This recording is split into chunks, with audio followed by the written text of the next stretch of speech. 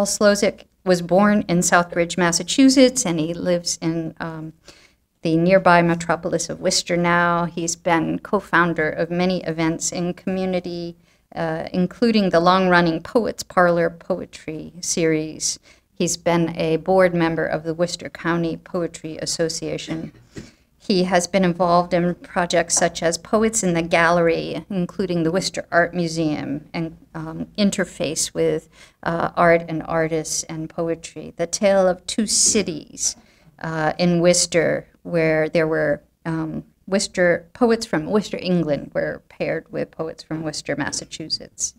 He's taught poetry workshops at the Worcester Art Museum and the Museum of Fine Arts and the Peabody Essex Museum as well and he has uh, given tributes to different authors uh, over time uh, also. Um, he's been published in a number of uh, poetry journals and magazines, and he runs a, a, poetry blog called Paul's Poetry Playground. And he uh, writes about different aspects of poetry and introduces new and obscure forms of poetry, which I have heard from some of his friends he's famous for, uh, uh, including the ziggurat, the street bettina, the hodgenel. And we have Ronald Whittle, Ron Whittle, uh, also born in Worcester, Massachusetts, and educated in Shrewsbury, his hometown. And, and Ron uh, indicates his further education came by way of the U.S. Navy, Vietnam, Apollo 13 recovery team, and 45 years of family living. And Ron uh, indicates in his uh, writing uh, about poetries, he was writing poetry about the war and its effects in Vietnam. And uh, since then, he has just been taking off writing and has about 15 compiled books of poetry ready to go.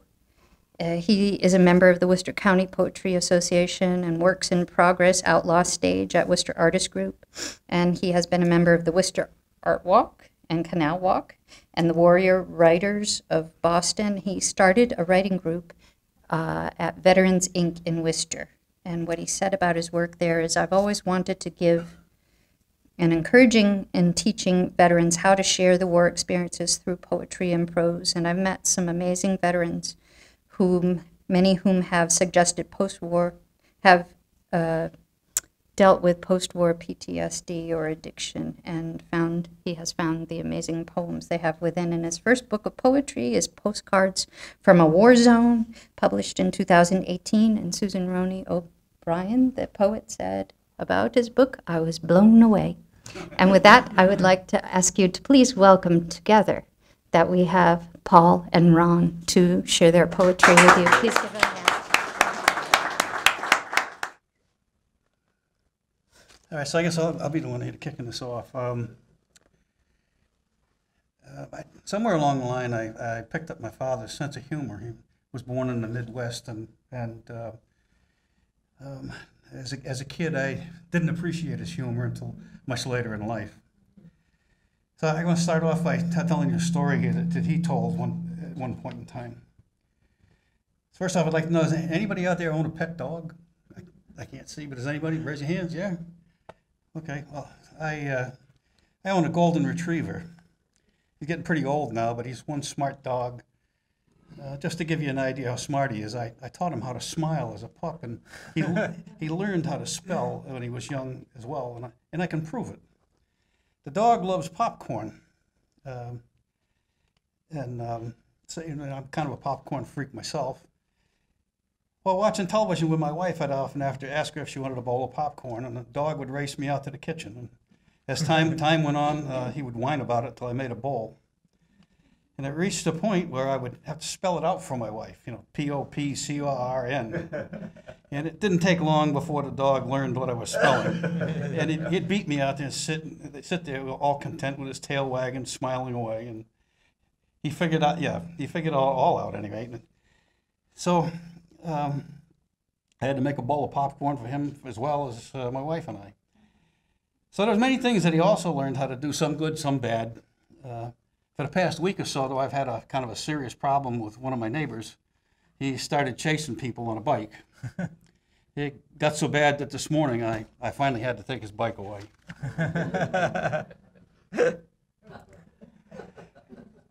So my father uh, uh, dabbled in, in writing as well. He uh, uh, decided that he was going to write some uh, nursery rhymes. So I'm, I'm just going to read. I'm actually pu- in the process of publishing his book this this um, uh, this month is supposed to be out, but um, he's, my father's been dead for ten years now, and, and, and he never published it. And I decided that I would I would do that. But like I said, he had, had a pretty good sense of humor. So the nursery rhyme, the first one goes. Uh, I woke up this morning to a little bird's song, a pretty tune, but the words were all wrong. And the next one would be two, two little birds up in their nest, one chirping, the other took a rest. Mama was out looking for some food. Daddy bird would have helped, but he wasn't in the mood.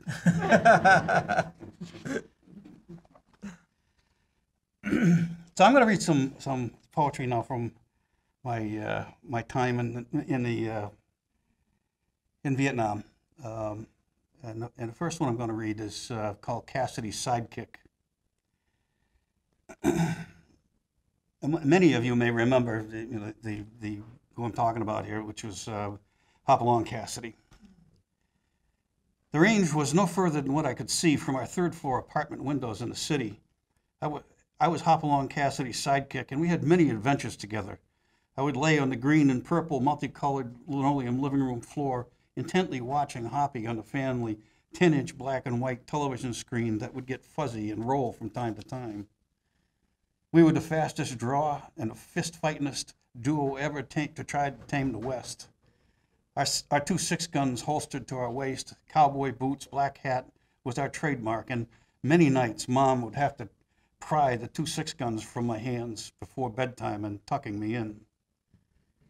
Oh, I, I was going to grow up to be another Hopalong Cassidy, all right, and I knew that for sure.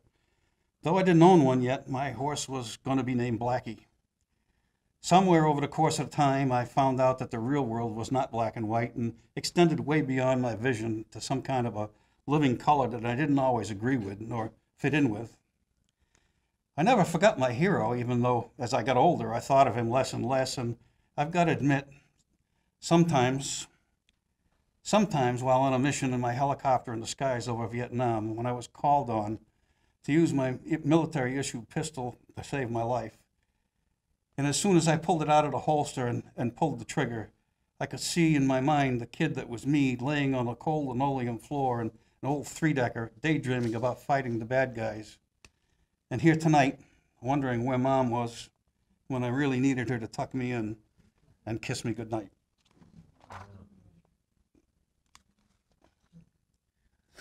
Because of what I did over in Vietnam, uh, it was. Uh,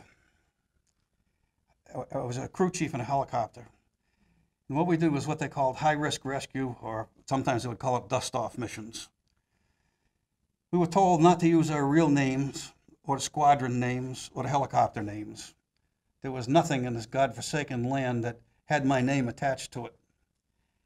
I was given the alias name of Stormy, and my helicopter's name was, I named, was misunderstood and the squadron was called the Hounds of Hell, or sometimes the Mutts from Marble Mountain.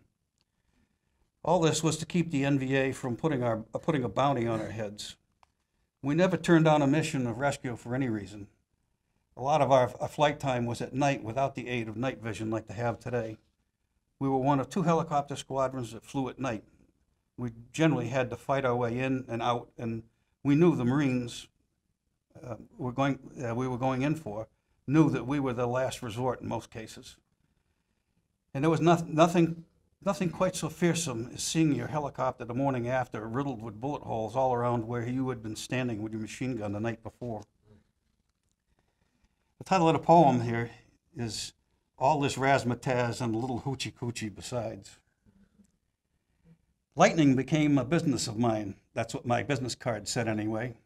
They nicknamed me Stormy, and I used that and I, I used that name that someone gave me, and I cast down thunder upon them and upon the land, lighting up the night sky with the raining red death. This valley is mine, and I'm not going to give it up to no one.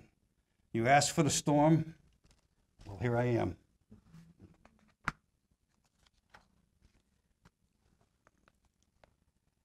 Stepping away from Vietnam, uh, I'm going to read the next poem.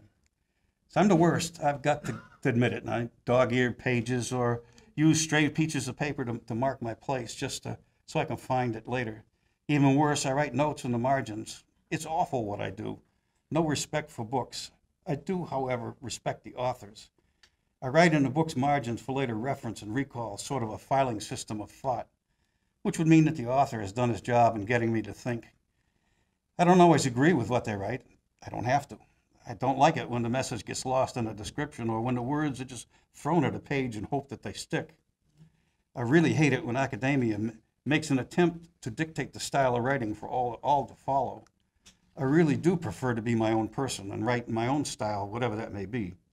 Academia has taken it for granted that they know better and are by far, far wiser. That was the title of the poem.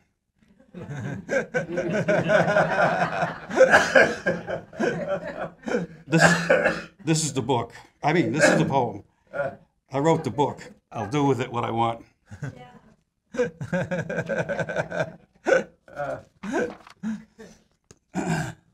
um, this one's called to the forecaster. The trouble with forecasts are they're just they're just forecasts of something that may may not happen, but might possibly develop into something sometime. It's a best guess by professional weather guessers who stick their neck out every night at 11 o'clock on a ni- local nightly news. There are many of us whose livelihood depend on someone like that, and by himself on an uneasy stage that he, that he walks in in a, an unforgiving road. I mean, yesterday, I shoveled 14 and a half inches of partly cloudy off my driveway.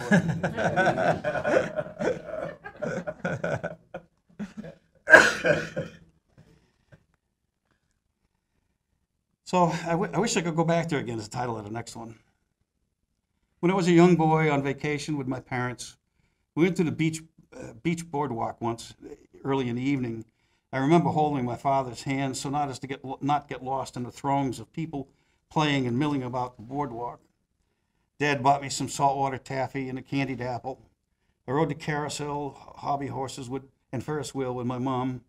And Dad and I tried our hand at dodgem cars. I'm sure he let me win, but I laughed anyway when he acted like he was mortally wounded when I smashed into his car.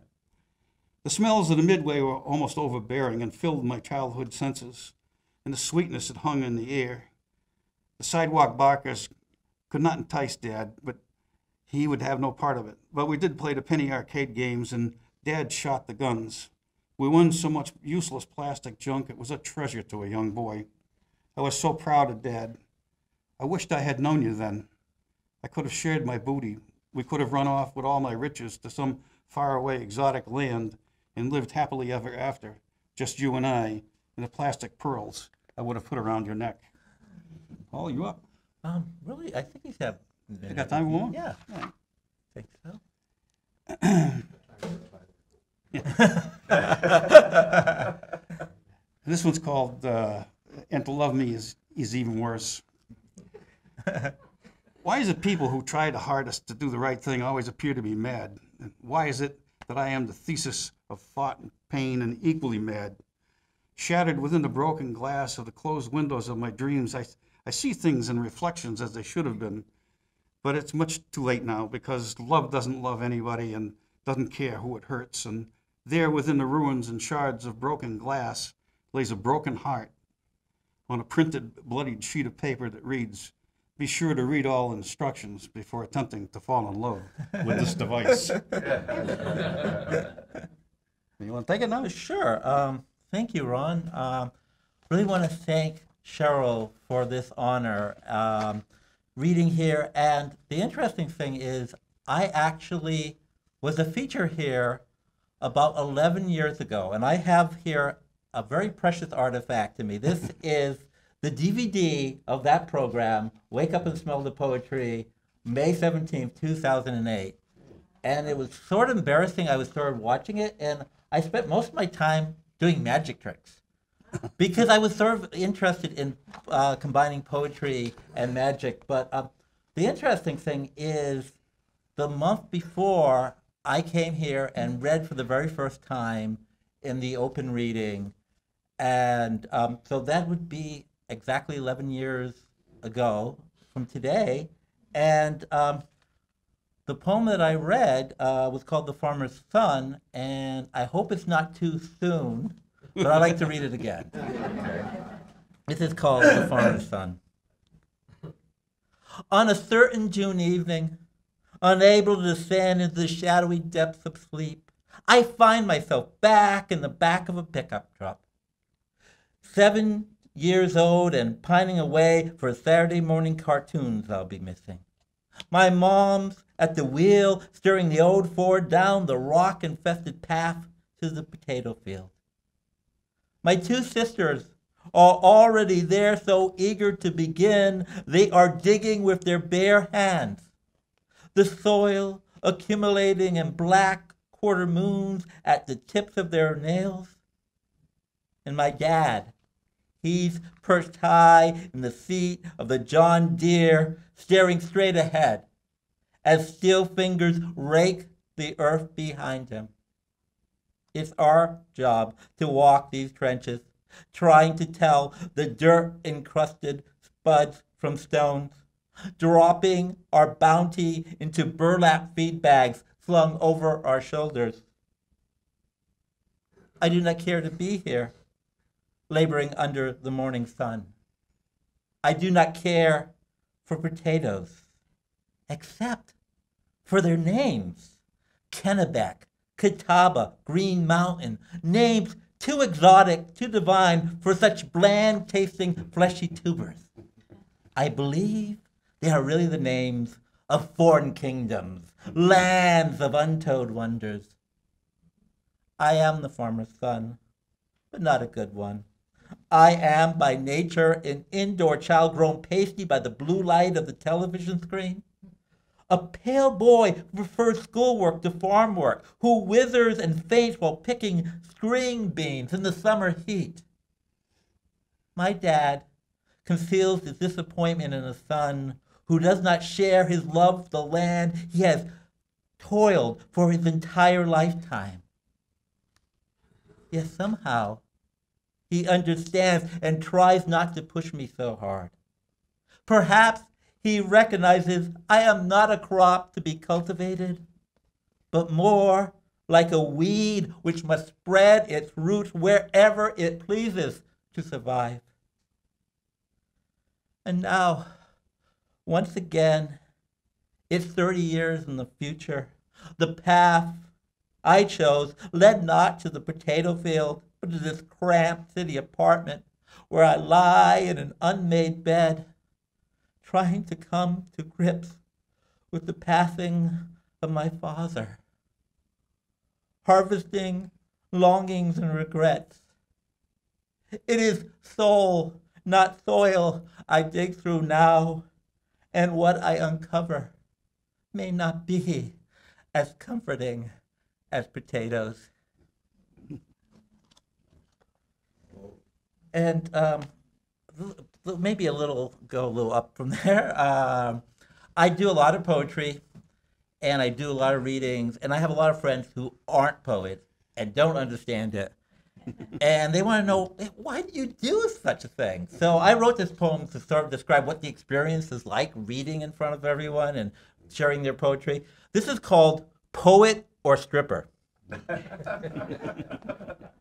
if I ever have a 17 year old daughter, I admit the possibility of becoming quite remote. And one morning, as we're chowing down together on Pop Tarts and Coca Cola, she tells me she can't decide on a career, wavering between poet and stripper. I would have to advise her to choose the latter. Now, not even considering economics, and I heard a good stripper can pull down a couple thousand a week, but as a poet, she'd be lucky to see half of that in her lifetime. Stripping is obviously the much more moral, much less degrading profession. All you have to expose is skin. And the audiences are always so enthusiastic and responsive, filled with respected members of the community, like businessmen and politicians. but as a poet, you gotta perform in run, sleazy, run-down dives, reeking of amaretto and hazelnut. and cater to the whims of all those underground, on the fringe, alternative lifestyle types. You know who I mean environmentalists, liberal thinkers, and the like. And they are so usually so indifferent to the poor slob on stage, you practically have to beg them on hands and knees for them to listen, to pay any attention at all. And if they do, they are never satisfied. They keep demanding, take it off, take it all off. The pretenses, the false facades, the mask you wear in public.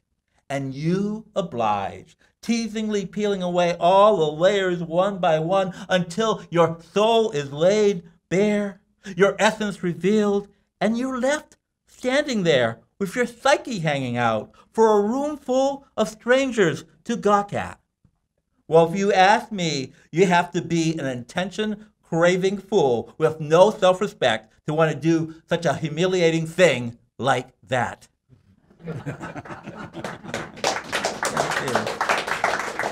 As um, Cheryl mentioned, um, I have this sort of obsession with poetry forms, really obscure ones, uh, like the Minute Poem, the ABCDarian, but it goes even beyond that because I start creating my own. And so um, I'm just going to do some uh, form poems. Um, the one I'm sort of really proud of is one called The Street Bettina, and it was written in honor of a venue for, that was run many years by a mutual friend of ours, Anne Marie Lucci, called The Street Beat. And so for the fifth anniversary, I wrote this poetry form to commemorate The Street Beat. And it's an interesting form uh, because it's um, eight lines. Each, each line is only eight syllables apiece. But what makes it unique and sort of uh, challenging is the first syllable of the first line becomes the second syllable in the second line, and then the third on and on until the eighth syllable is. And so it actually creates a sort of a natural rhythm and beat. So I'm going to go with, I'm just going to read you two short ones. Um, this one is called Travel Advisory. Go unprepared into the world, for go certainty. Pretend to be cargo bound for distant ports, perhaps the Gobi Desert, Mars? Travel by pogo stick or dreams, a blank map, your logo. Treat the unknown as your amigo or ignore this advice, but go, go. oh, thank you. And this one is called um, Ghost Story. Local legends say if you go solo into the deep, dark woods when the lotus blossom first blooms and the moon's low in the night sky, the girl in yellow will appear, her lips mouthing, Hello, my love, while lunar light spills like lotion on skin translucent as jello. Thank you. Um, one of my favorite local poets is a poet named John Hodgen. I'm not sure if he had read here, but he is the most amazing poet, and he is a mentor for so many people. And I came across a poem that he wrote called Forget Me Not, and it's about his brother passing away. And I noticed he did something really unusual, especially for a serious poet. His poem used a monorhyme, and that means that every word rhymed together. And usually that's a comic effect, but it was just heartbreaking to read that. So I decided that poem as inspiration, I created a form called the Hodginell. and for a while, I didn't tell him about it because I was afraid that I was going to get a cease and resist letter from him. Um, but I told him, and he was so it was he was so nice, and he said that it meant a lot, especially that poem. It meant so much for him, and inspired me to create this form. Um, so um, the way this works is 21 line poem. It has a monorhyme. Every word, every end, uh, the end rhyme all rhymes together. So the, the it would be a a a a a a a a, and um, the first line is repeated as the seventh line, the 14th line, and the 21st line. And so this poem is called I'm Not Santa. It doesn't mean I'm Santa just because I wear a white beard. It seems I can't even walk down the street without being jeered with ho ho ho's by nasty little brats, their faces smeared with jam. Adults even worse, drunk, voices slurred, all teared up, whining that I never brought them a certain doll or multi-geared erector set. What would they do if I turned to them and sneered? It doesn't mean I'm Santa just because I wear a white beard. And don't try to climb upon my lap. That would just be weird. My facial hair is real. I'm no mall Santa with fake whiskers adhered to my cheeks with spirit gum. It might be easier if I sheared the whole thing off, but I won't. I have persevered, endured stupid jokes about reindeer and elves, silently steered past taunting teens. Saint Nick's a figure not to be mocked, but feared. It doesn't mean I'm Santa just because I wear a white beard. Yet all my tormentors one day might find, find themselves speared with sprigs of holly through their hearts, or basted and seared over an open flame like a Christmas goose, or simply disappeared down a chimney. So now that we have this matter all cleared up, please don't Santa me any more. I'd much rather be King Lear, or from all you poets, Walt Whitman or John Greenleaf Whittier. it doesn't mean I'm Santa just because I wear a white beard. I don't like goodbyes. I never have. They always make us feel like I'll never see you again in this lifetime. I made that mistake once with someone I love very much, and I won't ever do that again. I say things like, see you soon, or take care, my friend. Goodbye just seems so final, and, and, and see you soon seems to imply sometime in the near future there'll be another meeting. Who knows when or where, or if we get to live that long. So don't take offense if I don't say goodbye, for I mean that in a positive way. When I say see you soon, it means I think enough about you tho- that I don't want to say goodbye. It's just too hard for me to leave you. So, see you soon. Take care. God bless. Have a great rest of the day. Thank you.